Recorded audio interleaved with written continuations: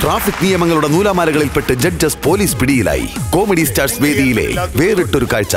നിങ്ങൾ ആൾക്കാർക്ക് മാതൃകയാവണ്ടല്ലേ? നിങ്ങൾ ഈ ഹെൽമെറ്റ് ഇല്ലാത്ത ടൂവിലോട് ഒരു മുൻ എം പി നിൽക്കുമ്പോഴാണ് ഇവർ ഇങ്ങനത്തെ തോന്നിയാസമൊക്കെ കാണിക്കുന്നത്. അല്ല കോമഡി സ്റ്റാർസ് സീസൺ ടു ഇന്ന് രാത്രി ഒൻപത് പതിനഞ്ചിന് ഏഷ്യാനെറ്റിലും പിന്നെ എപ്പോഴും ഹോട്ട്സ്റ്റാറിലും